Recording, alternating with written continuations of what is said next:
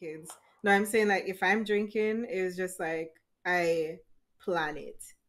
It's not. It's never spontaneous.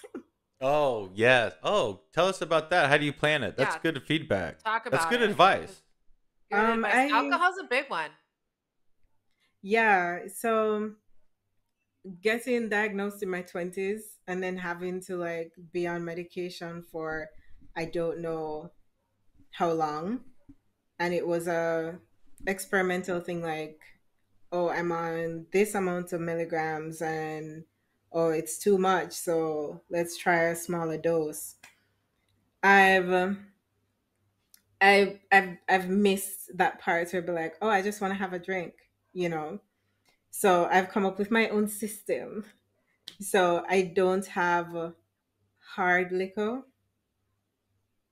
One. So it it spans between like wine and beer, really and truly. And then because I take my medication twice a day, I would if I'm gonna drink, I wouldn't obviously wouldn't take it in the night. Yeah. Deal.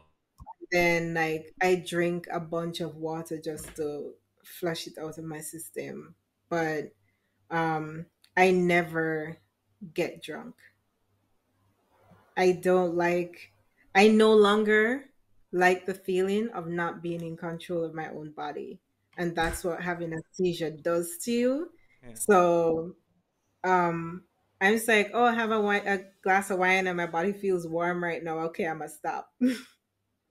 But like besides that, that's it. It's not worth Like- it. No, it isn't. That's good.